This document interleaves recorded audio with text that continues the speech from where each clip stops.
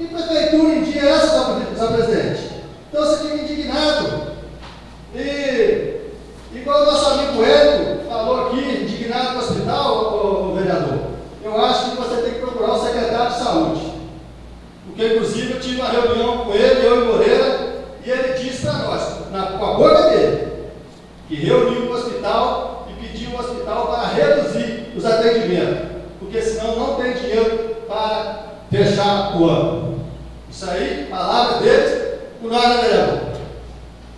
Não, isso aí, eu acho que tudo bem, você tem que criticar, você, criticar o hospital, não vou discordar com você, mas eu acho que você tem que procurar mais a fundo.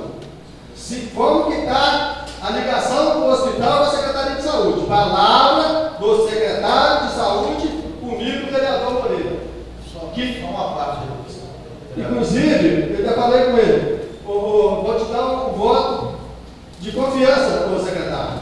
Mas ele falou que a, saúde, se não cortar atendimento, não fecha o ano. Inclusive cortou vários exames, os laboratórios, cortou vários exames de sangue que você pode ir lá, não precisa acreditar no vereador antes não. Faz como o vereador antes fez. Vai lá nos laboratórios e, e procura o secretário de saúde. E foi reduzido vários exames.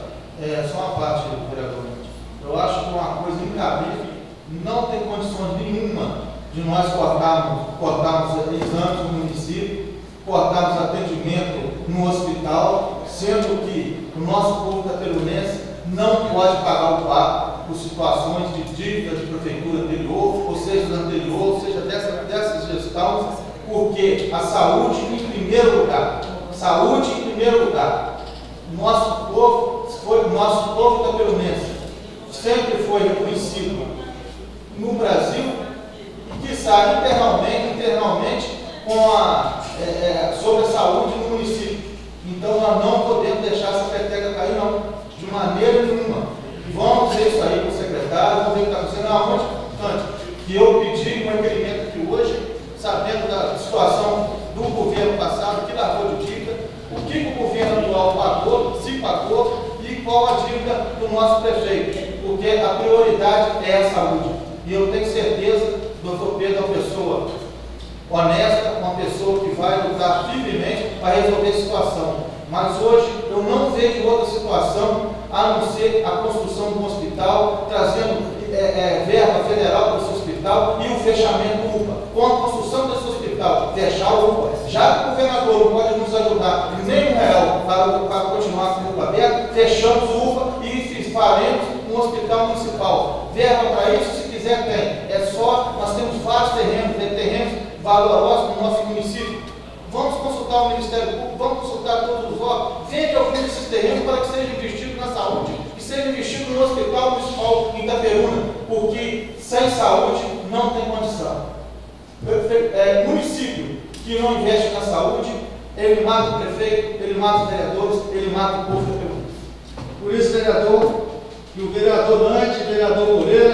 Vereador Casalito, sempre está fazendo requerimento nessa casa aqui, pedindo informação e não chega nessa casa.